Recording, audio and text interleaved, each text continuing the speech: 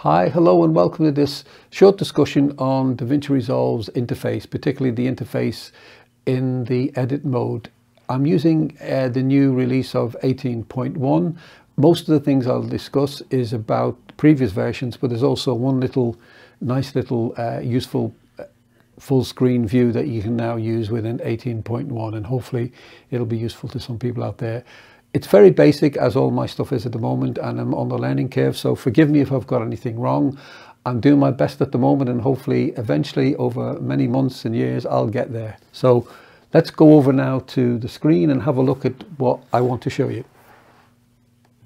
Okay, so let's have a look at the screen and what I would call the screen real estate. That is going to be a function of how DaVinci Resolve Studio organized, uh, organizes the screen will be a function of the resolution of that screen. And in this particular case, I'm using a 1K screen, which is 1920 by 1080.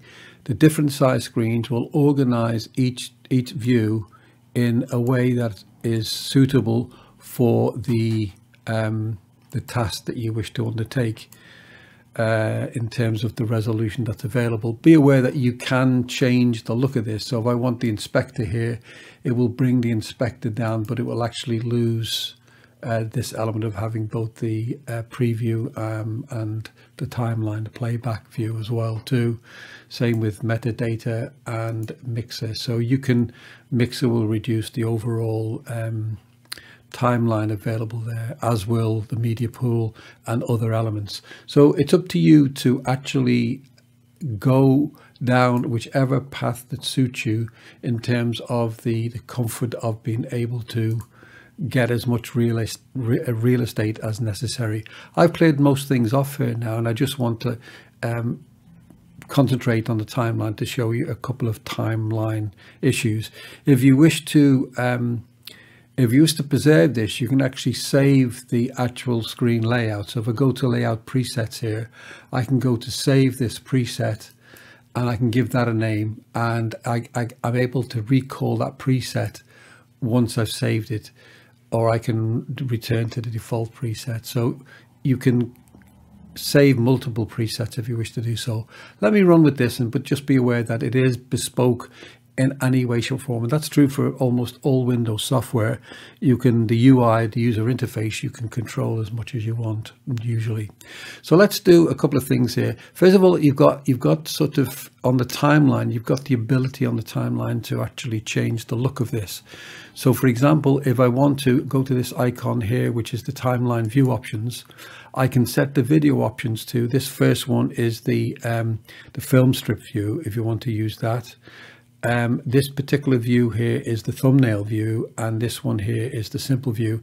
So you can change those uh, to whatever suits you in terms of what view you want to have that. Similarly with the audio view, this is the uh, the non-rectified waveform. This would be the full waveform if you wish to display that. And this will be the um, the waveform border. Not sure what that is to be honest with you, so I'll leave that for you to sort out. You can change the heights of the individual tracks here, so you can increase the size of them by just doing that. Uh, and also the same with the audio track. So it gives you that ability to um, size that in accordance with what you're comfortable with in order to be able to use that. And uh, that is actually quite useful. So the next thing I want to demonstrate is a new function within um, DaVinci Resolve and this is new to um, DaVinci Resolve 18.1 and that will allow you to insert um, so if I want to insert if I right click here I can add a track here and it actually allows me to define where that track goes so um, there's vid you can work with both video and audio tracks or you can work separately so at the moment now if I I can decide whether to insert that above uh, two. At the moment, there are only two tracks or uh, below uh, below two. So I can place it in any, depending on how many tracks you've got stacked up, stacked up, then you can um, you can stack up as many. I'm going to stack it below the first track. Um, and similarly with the with this one here below the first track and I'll add the tracks and as you can see it's created a gap in the tracks uh, and you can see if I go up and down you'll see it's left a space on the bass track if you want to do that. So that, that makes it easier for it to manage um, placing layers on tracks, which might be useful both for, well, particularly for video and possibly for audio, but that's that's really a, a different uh, a different altogether. You've also got the traditional views you can change here. This is not new. This is these have been there around with uh, uh, uh, DaVinci Resolve before 18.1. So this view here is the is essentially the uh, the full extent of the timeline. So no matter how big this timeline, it will actually uh, stretch to that full timeline. If I go to here, that will zoom in on the playhead and give you a detailed view of the playhead.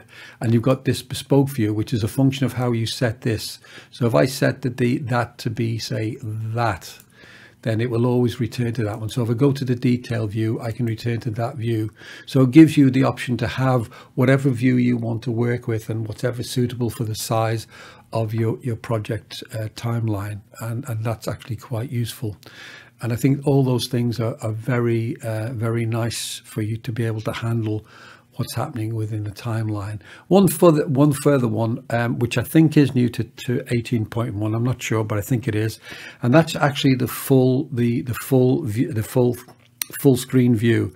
So if I hit Control F, it'll switch to the full view, and if I hit Control F again, it'll swap back to the timeline. That's new and that's quite handy.